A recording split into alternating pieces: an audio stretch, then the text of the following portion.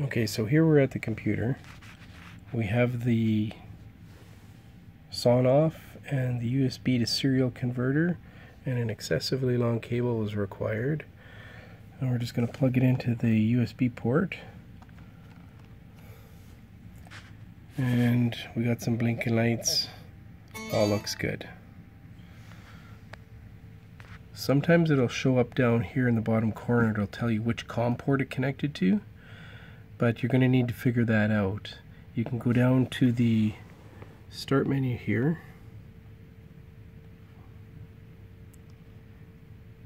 Just click on the start button and start typing device, which will open up your device manager like this. And you're looking for something like ports, COM ports.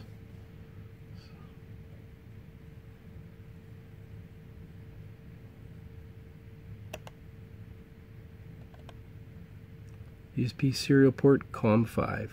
So now we know that this device is connected to COM5.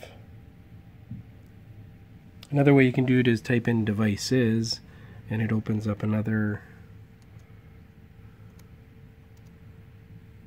it opens up this and you're looking for something that doesn't look quite right. I don't have a, a mouse hooked up so that would be this.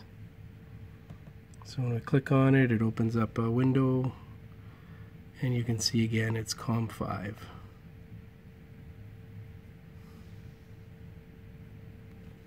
Focus. COM5.